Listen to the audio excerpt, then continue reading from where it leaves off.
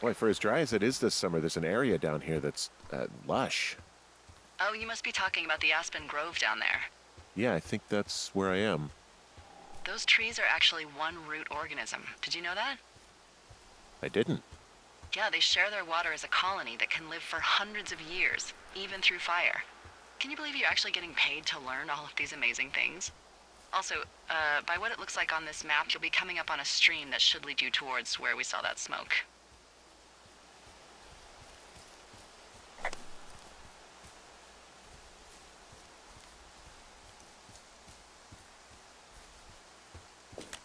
Whoa, I, uh, I found a turtle.